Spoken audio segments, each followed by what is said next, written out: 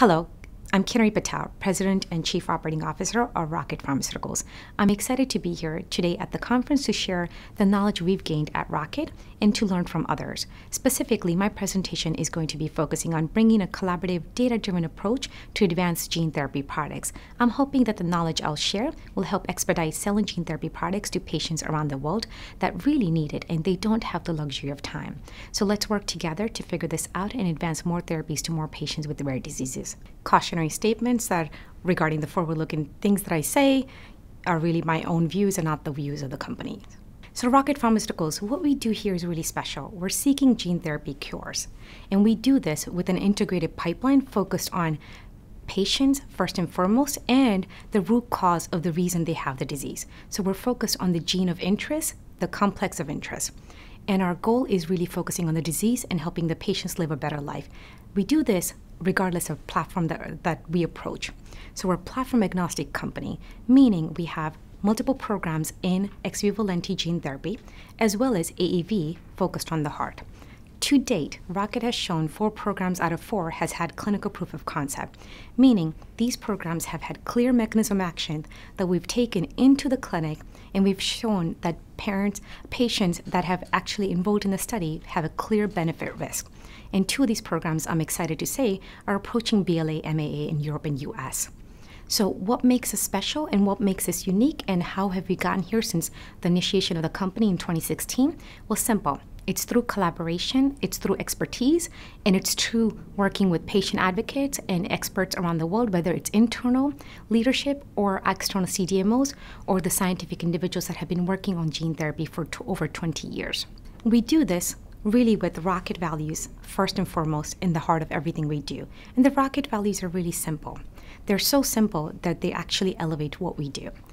Everything is based on the trust. We give each other trust to know when to go and make decisions, as well as when to make mistakes. And mistakes are welcomed at Rocket because through mistakes, we learn how to move the pipeline in an innovative forward way we talk about generosity. Being generous means you're sharing not just your expertise and your knowledge, but you're generous with your time and your energy.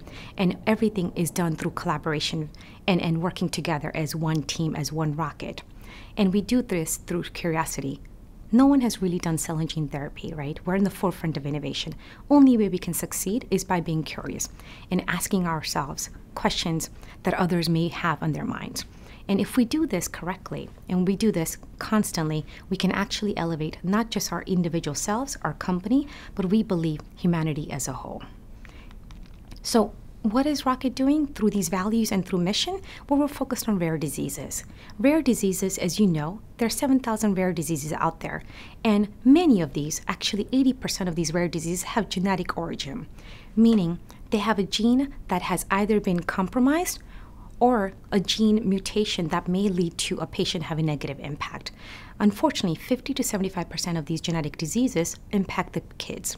So, childhood diseases impacting pediatrics, and many of these pediatrics unfortunately do not survive into their teenage years, let alone by the age of one or age of five. Only 30% of the kids with the rare disease actually see their fifth birthday, and that's quite devastating.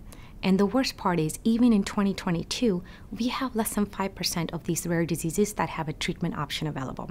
So we need to do a lot more. We need to work as a team, and we need to do a lot more, not just within Rocket, which is focused on developing first in class gene therapies for life threatening genetic diseases impacting kids and adults using technologies like ex vivo lenti and AAV, but we need to do more as a field as a whole.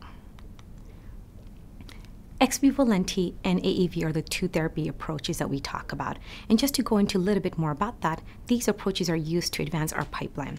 Our V1 pipeline, is what we like to call, are the pipeline that's already in the clinic. And this pipeline includes Danon disease. Danon disease is quite unique because it's a disease that impacts heart. And at this point, patients with Danon disease only have heart transplant if they're lucky enough to get a matched donor. If they don't have that, they may not survive into their 20s. So these kids really have unmet medical need and it progresses quite rapidly and unpredictably anywhere from the age of seven onwards. This program is currently in the clinic with fast track, orphan, and rare pediatric designation applications in place at this point in the US. Fanconi anemia and LAD1, these are unique diseases because they are global studies with pivotal data readouts in both of these programs that are leading to conversations with health authorities to move them to Europe and US.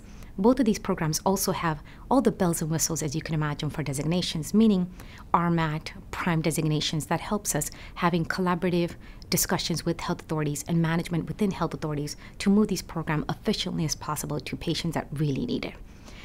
PKD is also another disease in ex vivo lentine. We also have a Wave 2. I'm excited about the Wave 2 program just as much as Wave 1, and in the future, look forward to speaking about them more.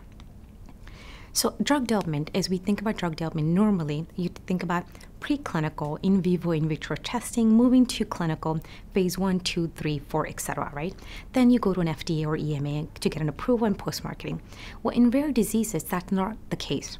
In rare disease, you need to think about things not sequentially, but in parallel or simultaneously. But while you have the same things being consolidated into phase one and phase two in many cases, phase two ends up being the pivotal study in many cases, the regulations that are derived to prove the benefit risk of a product remains the same as it is for a, uh, a rare disease product as it is for a standard disease product. What does that mean? Well, the regulation still says that you have to show the product is of high quality and can be consistently produced and they're safe for patients to get, but also efficacious and efficacious compared to the standard of care. So this paradigm doesn't change. What changes is how you evaluate every rare disease and how you um, apply the complexities in a unique way based on data and based on science. What are the, some of the things that you can do in drug development is to expedite these patients that have no treatment options, life threatening diseases, severe disease where they don't have luxury of time, you can design studies that are single arm studies. You can use patients' knowledge and natural history, whether it's literature search, talking to the patients directly, or other means of understanding the disease better, to design a single arm study with a clear mechanism of action, with a clear endpoint that allows you to get maybe an accelerated approval or an approval earlier on in the development. You could also do things in parallel. So US and Europe is something that we've focused on at, at Rocket, doing as parallel as possible. That way, most patients that need the therapies have access to the therapies as quickly as possible. And then you think about manufacturing, not after the fact, but we think about it before even submitting an IND. When you do that, what happens is you can actually be ready for commercialization and launch earlier and quicker. This, along with all the rolling expedited pathways that are available by health authorities around the world, like the FDA and the EMA, could help you increase your urgencies and help you efficiently bring these therapies to as many patients that can benefit from it as possible.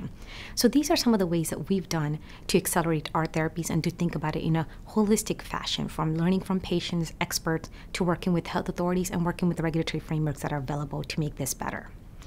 And our approach is really simple. Our approach is focused on collaboration that drives innovation for patients, having a global mindset. You can't focus on just a region. You have to think about patients, where they live, and how it impacts them.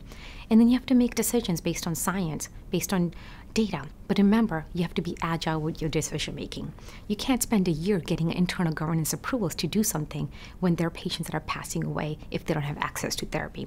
So at Rocket, we focus on our North Star, which are the patients.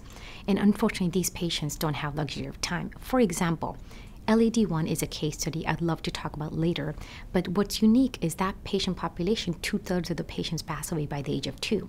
So we can't have a lifetime figure to figure this out. So what we do is we approach gene therapy drug development in a, a, way that integrates everything simultaneously as much as possible.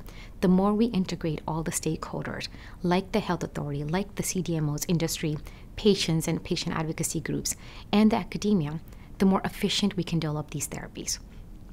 And through that work, an example that I want to highlight is LAD1. LAD1, as you see the names in here, whether it's names of institutions from Spain that invented the product with UCL GOSH in UK, to even into institutions in Asia. For example, PI um, CON is a conference that happens in Asian markets. We went there in person ourselves, our chief medical officer, myself, to meet the patients, to meet the treating physicians, and to understand how to design the study before we even had an IND open. We work with foundations like Jeffrey Modell's in order to make sure we can identify patients and help them be diagnosed earlier in their life. And we work with other organizations like Niño Jesús and UCLA, as well as UCL GOSH, to treat these patients. So this is an example of thinking not just clinical trials or academics, but also patients and advocacy groups around the world and bringing them all together in order to maximize our impact to patients. And we do this with these patients in mind. It's based on science, it's based on data, but it's based on a girl that you see in front of you. What does it mean for this patient to have a better life? What are the things that keeps this patient from living a normal life? And what we've learned is for LAD1, a patient like that, what happens is unfortunately about 40% of patients will not survive by the age of two. As you see in the curve here, the blue line, the severe patient population, all they need is if they had a CD18 expression on their neutrophil to be greater than 10%, they could live into adulthood. So all we have to do, I know it sounds kind of simple, but it's not, is get a CD18% of 0 to 2 into 10% or higher. And if we do that, we could potentially help this child live into adulthood. So, what has Rocket done? Well, we've developed a clinical study, phase one, two global study, with fundings from CIRM and other organizations in order to expedite this. And our clinical data shows that nine patients that were treated, all the patients, as you see here, we've had not only CD18 expression over 10%, it's greater than 20%, some approaching even 80 or 90%. We're not saying you need 80 or 90%, but the fact is that gene therapy has consistently shown that this data is making an impact for the patient in their cell biology and expression of CD18% at the peripheral bone, uh, bone marrow cells. And our totality of the study, as you see on the graph on the left, and I've been in drug development nearly 20 years and never seen such exciting clean cut data 100% survival. Right. Our phase one, two patients, nine patients treated out of nine in severe LAD1, have had 100% survival with seven of them being followed for more than a year. We've seen a durable VCN that shows the integration of the actual corrected gene into the patient. We've seen 100% engraftment, and we've seen that not only have patients had good efficacy, but they've not had any safety-related adverse event or side effects of interest. So the benefit risk overall seems positive. So what's unique about LAD program? What unique about LAD program is you wouldn't believe that in 2018 we wrote the first IND in CTA, right? We wrote this program, IND and CTA, in 2018. In 2022, we're talking about top line data and how to get this drug efficiently submitted to the health authorities around US and Europe and UK, and to, in order to make it accessible to more patients. We've seen efficacy across all the patients. We've seen large treatment effects based on primary and secondary endpoints. We've seen favorable safety. And here's the beautiful thing we submitted that first IND CT application only after we had a, a, a commercial grade product available, meaning plasmid, vector, cell processing, analytics, they were all commercial grade. What the patient, first patient got in the phase one study is the same product that's going to be commercial available. Why is that important? Well, as you know, in cell and gene therapy, it's CMC that's always lagging behind. When you make CMC changes from academic to one CDMO to the other CDMO, what you have by the time you get to commercialization is hodgepodge of data you're trying to make sense and you're trying to do comparability. If you can avoid the comparability issues and and, and actually design a study that can allow you to do as apples to apples comparison as much as possible in complex rare diseases, you can be you can stand behind a clear benefit risk data that you're seeing clinically. And these are the learnings we've had. So the learnings that we keep applying, let's think globally, not locally. Let's focus on operational execution.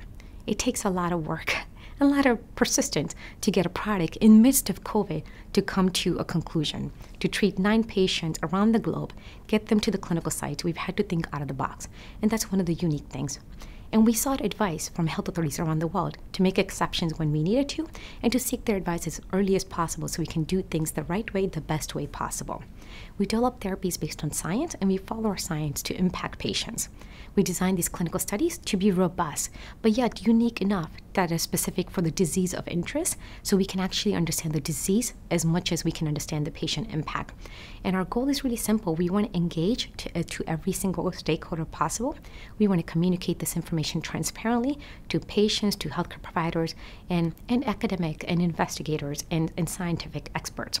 So we can learn from this as much as we share information to teach them. And to officially develop drug for gene therapy or cell and gene therapy, you have to remember CMC cannot be second. As much as possible, invest early on. The more you can have a commercially grade product into a patient early as possible or have that commercialization strategy in mind, the more you can efficiently move these products to patients that really need it and they don't have the luxury of time. So you continue to innovate, you continue to learn from yourself and your own mistakes as well as from others. And if we do this well, we can actually make a difference. Here's a presentation talking about how we're making a difference, and this kind of summarizes the spirit of Rocket. Our Wall of Stars is a great way to recognize the spirit that Rocket has and how we do what we do and why we do what we do. Thank you.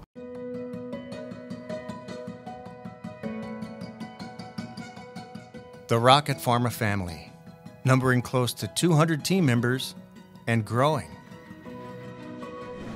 Living and breathing core values trust, generosity, curiosity, elevate.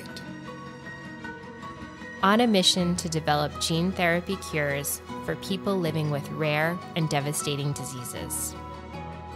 The only pure play gene therapy company harnessing the potential of both ex vivo lentiviral and in vivo AAV platforms.